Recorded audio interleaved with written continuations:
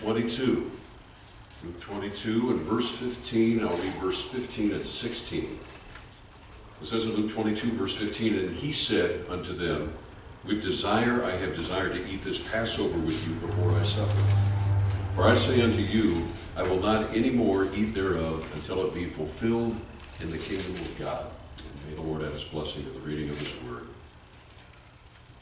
Well, it can be a little bit challenging, really, to put all the pieces together when it uh, comes to why Christ came as he did, and then everything that transpired in his life, and his sacrifice, and his resurrection, and what is to come. It is an involved story. It's not complicated, but it is involved, and there are different parts to it. I think that sometimes, if we look at it too quickly or too casually, we can miss a lot. We can miss the, the, the richness of it. We'll take a, a, look at a couple of different points in that regard uh, during this time. Putting all those pieces together brings him home to us like nothing else will, if we can put all those pieces together. One thing that, there's one act that took place during this Passover meal described in Luke 22, and also that we'll look at in Matthew 26 for the communion passage. At Passover meal, there's one aspect of that story that maybe you might not have considered, and we'll look at it, and it makes it very, very uh, rich, I think. We'll share in uh, the Lord's Supper, of course, but first we look uh, at it a little bit differently.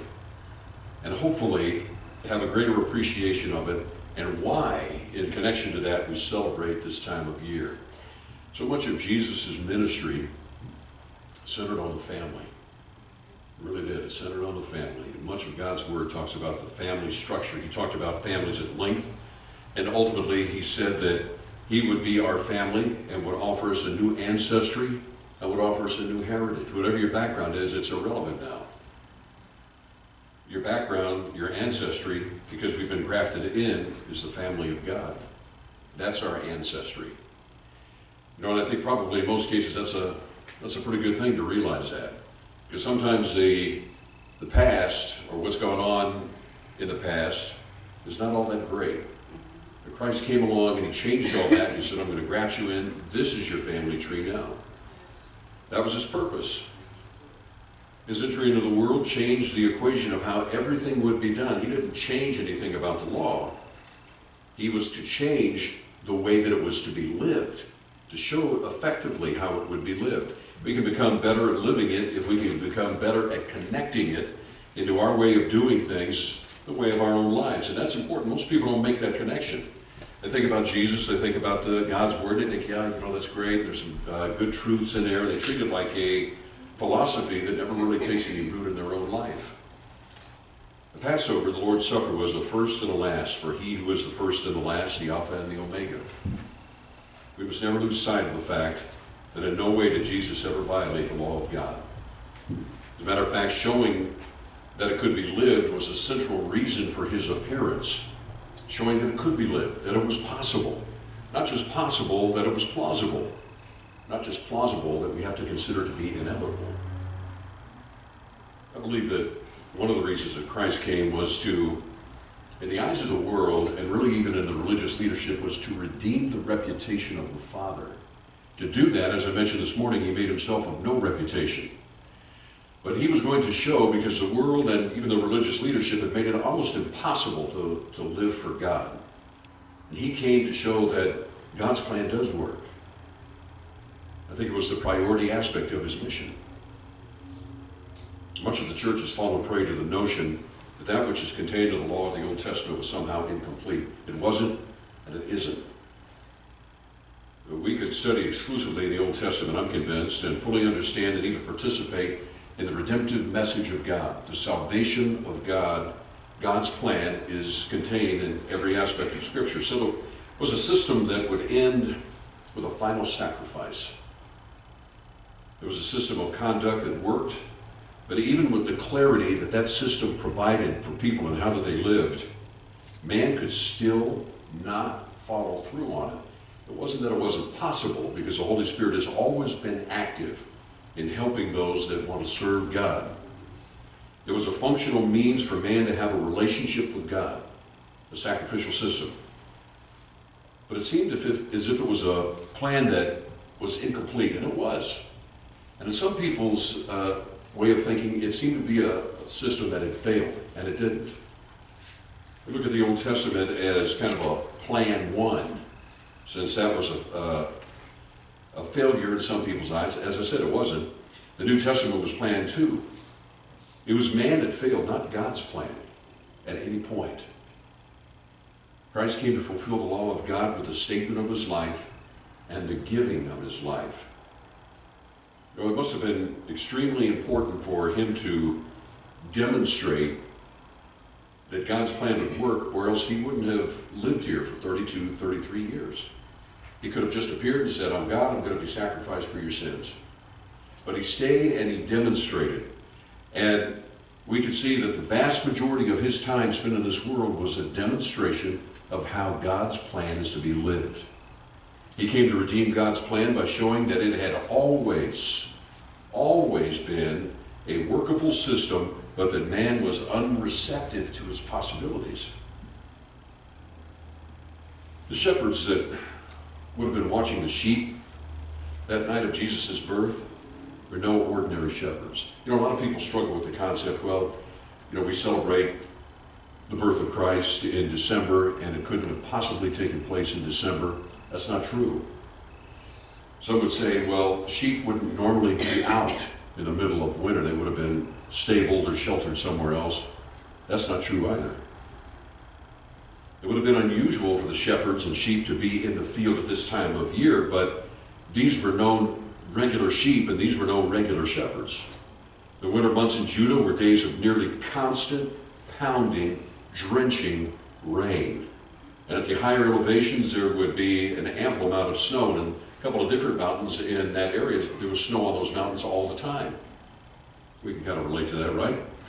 The sacrifice in the temple went on year round, so the sheep had to be maintained for this purpose. These sheep were the honored flock. You've heard me use this term before. They were the tower of the flock. The Migdal Eder, the tower of the flock, the sheep to be sacrificed in the temple. So these weren't sheep that were merely meant uh, to be fed and nurtured for their wool. These were sheep that were raised specifically for sacrificing in the temple, and they had to be of the highest quality possible, as much as is possible without blemish.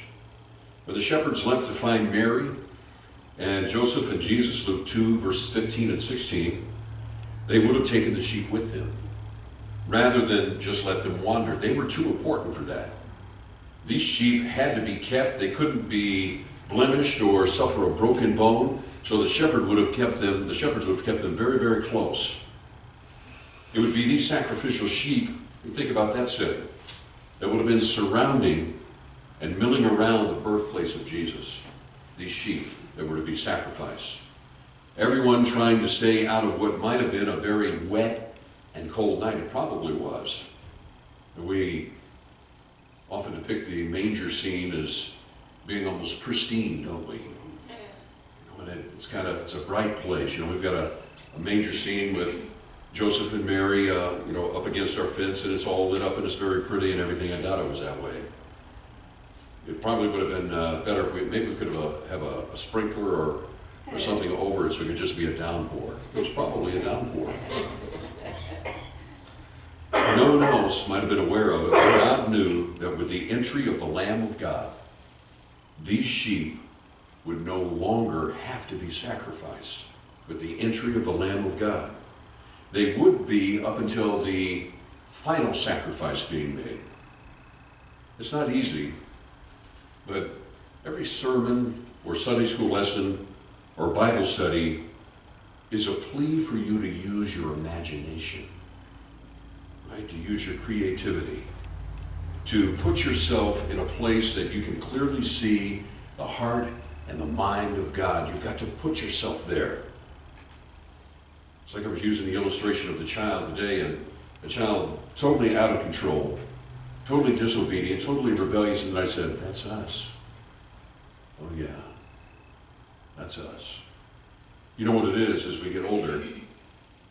We learn to disguise it more effectively.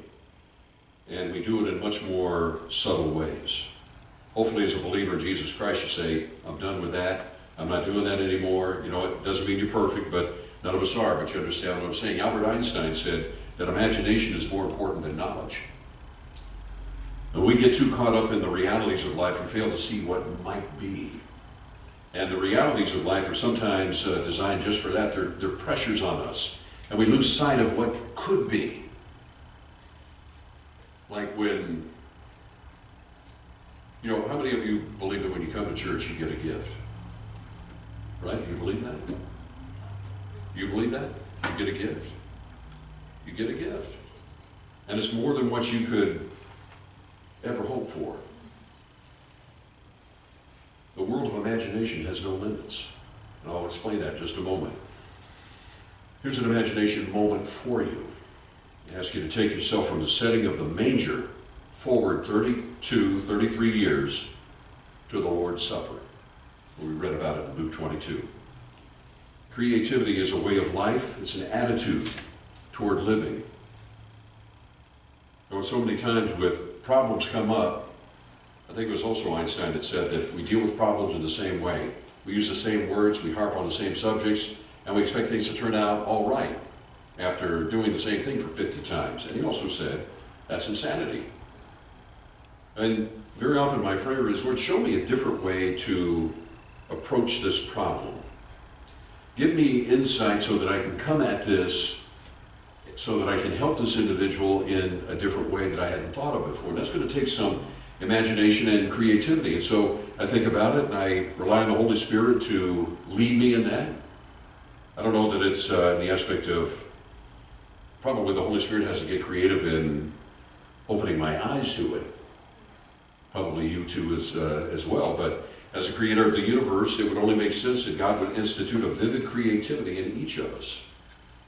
In fact, it may be the only way that we can truly grasp the scope and meaning of God's plan. It becomes clear that God used his creativity to put countless messages and nuances through the pages of God's Word.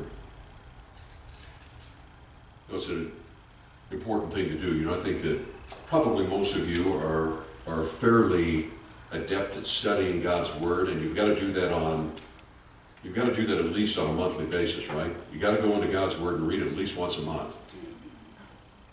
Right? You know what that means? You're going to be in trouble about 29 days out of the month, if that's all you do. So do it once a week. Right? I mean, you're doing it now, right? You came here. I mean, think about it. You opened up the Bible twice today. At least. Maybe three times, including Sunday school. You're in trouble if you don't do it more than that. I can guarantee it. You're going to be confused and befuddled if you don't do it more than that. There's a lot of people that, there was, I think of a couple of individuals, but over the years, eh, probably actually more than that, but they take uh, the mentality that, well, if I get in trouble, then I'll rely on the pastor to tell me what I need to do. You better hope I never miss. You better hope that I never have any ulterior motives. You know, when we start to rely on individuals like that, and every individual is fallible, we start to rely on individuals like that, we will quickly be misled. That's, that's called the beginnings of a cult. So we rely on God's Word. So we've got to get into God's Word every day. You're thinking, well, know, I'm not really a reader. Now, that may be, but we've got to get into God's Word because it's more than just something to read. It's a story about His life. It's about how He brings us into His family, and that's one of the reasons that He came.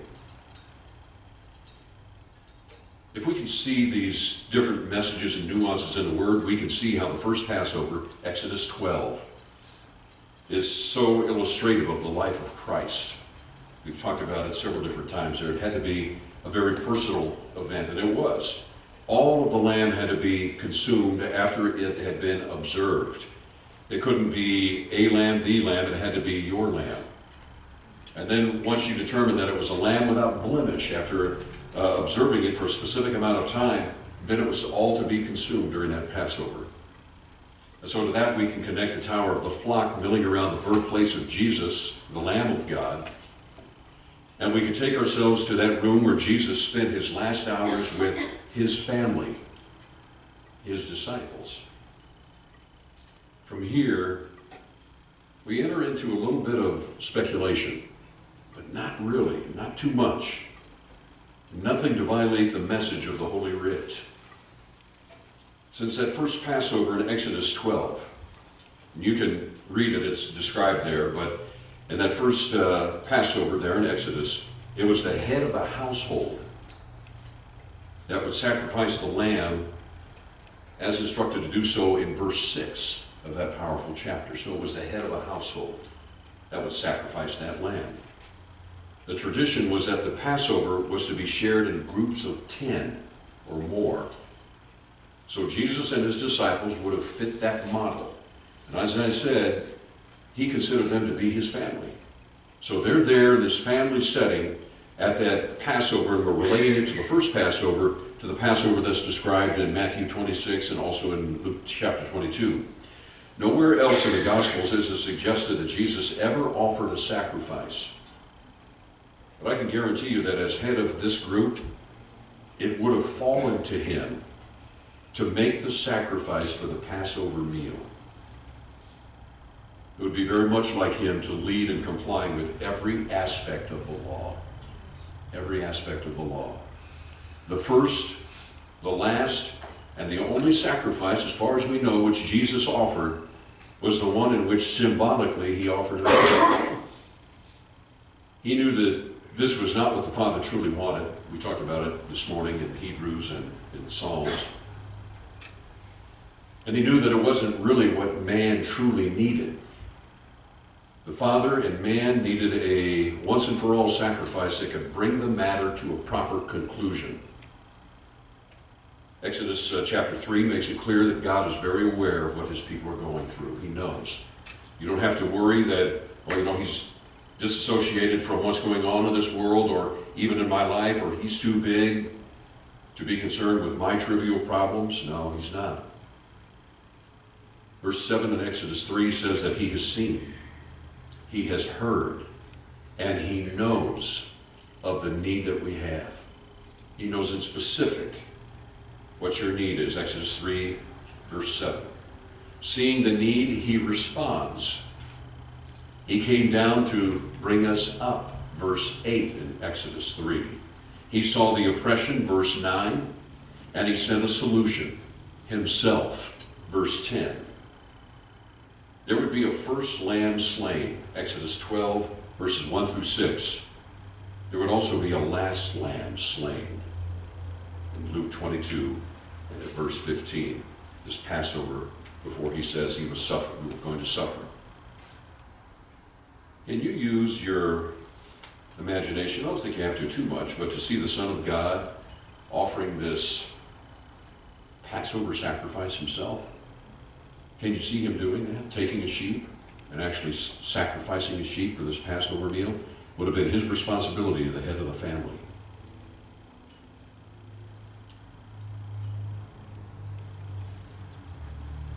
You know, as our dog Cody got uh, older and he started to lose his senses more, his hearing and his eyesight and his sense of smell, which would have just been devastating. It'd be devastating for a dog. So I would uh, get down by his ear and I would whisper his name to him. Can you see Jesus doing that with the sheep? Saying, You're not going to be the last sacrifice, but I will be. In this context, he could have said, You're the last one necessary, but there's one more to come. You're not the last lamb slain.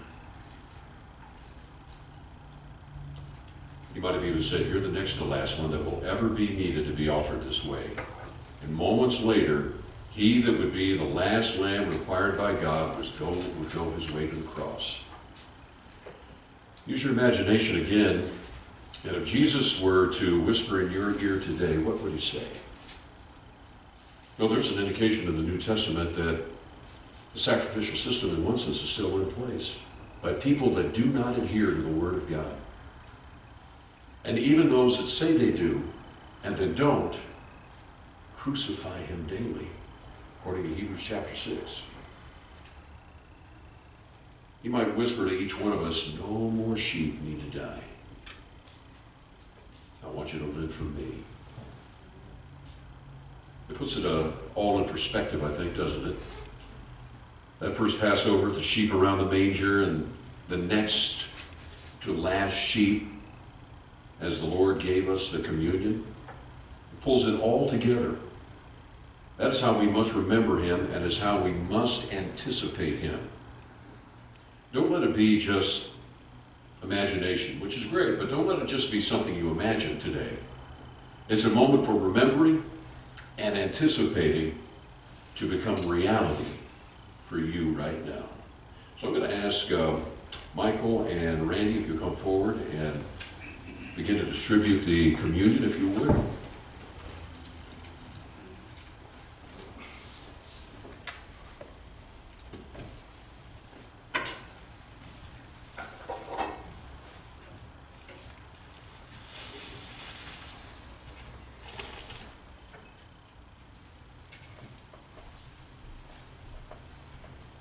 I look at us as being those lambs gathered around that birthplace where Christ was.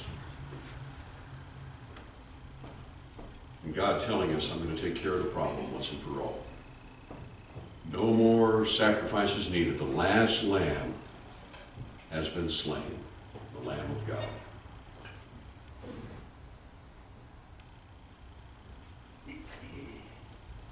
It says in verse 26, I'm reading from Matthew 26.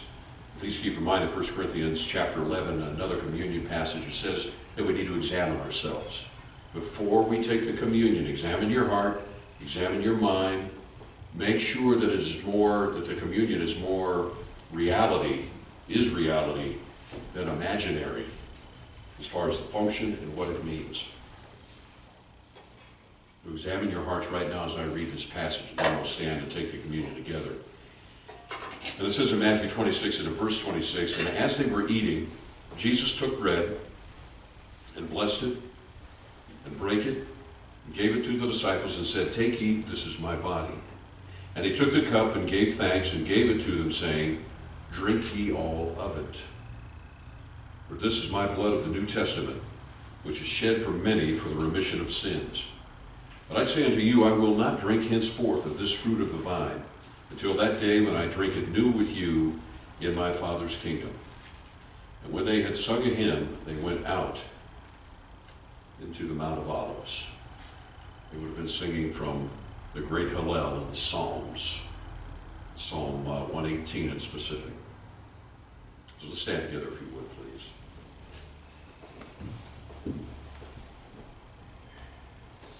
I look at the setting as very much the same as when Jesus had that Passover meal that he described here in Luke chapter 22. It's the ones that were closest to him, that were family, the ones that he would commission to go and take the truth to the rest of the world. And that's what we do right now we acknowledge his sacrifice and acknowledge that covenant. And as they were eating, Jesus took bread and blessed it and brake it and gave it to the disciples and said, Take, eat, this is my body. Let's break the bread and take the bread together.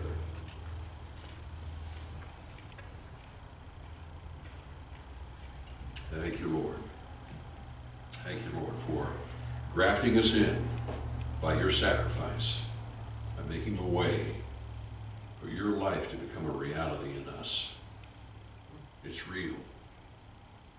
Lord, we need to say, that's the reality I want functioning in my life. The way that you lived, the way that you moved, where you went, what you did, what you said. Thank you, Lord. And he took the cup and gave thanks and gave it to them, saying, Drink ye all of it, for this is my blood of the New Testament, which is shed for many for the remission of sins. Let's take the cup together. Thank you, Lord. Thank you, Lord, that you came and you redeemed every aspect of the Father's plan, and in that you redeemed us. You showed that God's plan works, always has worked. And you showed us that there's a way for it to work in our lives and to make our life more powerful, meaningful, and purposeful than ever before. Lord, I thank you for these ones here right now. They are my family. blessings to me. Lord, I believe that they could say that about each other, that we're blessings to each other. The first and foremost gift that you've given us during this time is yourself, and you held nothing back. You gave it all. Lord, help us to be that way with each other, to always be there for each other, to pray for each other, to be friends one to another, to cherish this time of fellowship. Lord, communion is, is just that. It is us communing first with you, but also with others that are like mind, like heart. Lord, thank you for this time that you've given us together for this day that we celebrate. Lord, may we celebrate, continue to celebrate, not just tomorrow, but even beyond that. Help us to receive this commission that you've given us. I thank you for each person here right now, Lord. In the name of the Father, Son, and Holy Spirit, we pray.